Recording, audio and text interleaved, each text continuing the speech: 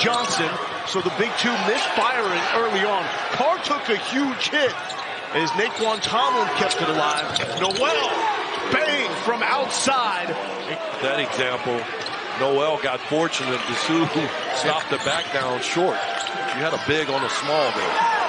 Or small Wow. on a big, I'm sorry. Well, there's the small with the... And he's matching Johnson. Nowell out of nowhere. I guess you get lost. Oh, of Nowell and Johnson. That look was too easy and he just missed it. Yep. Nowell, deep three. Got the three. And Mark Carr, quick three. What do you think about the shot? Well, that's a heat check, Nowell. as is that. And Nowell. Becoming Mr. Consistent for Texas. That's what you really want to see right now. Who can be that guy? Finish near the rim. Another 20-point game for Marcus Carr. Got 21.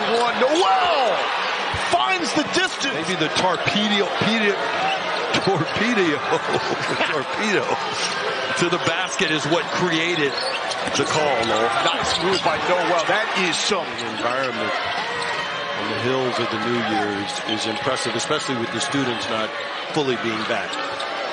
Defense has not been up to standard. First time that the Longhorns have allowed 100 points in a game since 2011 against Oregon State. That man.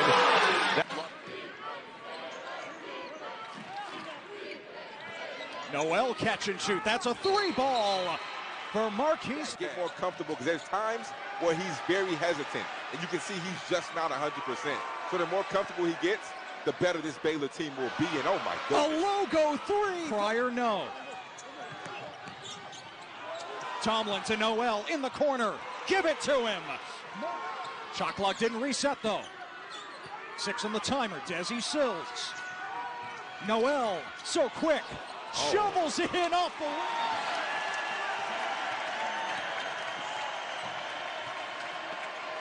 Baylor loves to see that. Bridges has really struggled from the outside this year.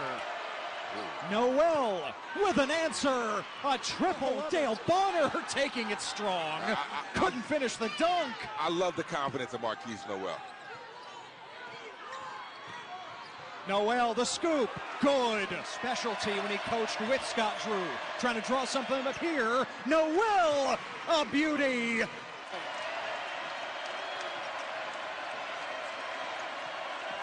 Screen from Johnson. Nowell turning the corner. Floater. Oh, wow. Drops in.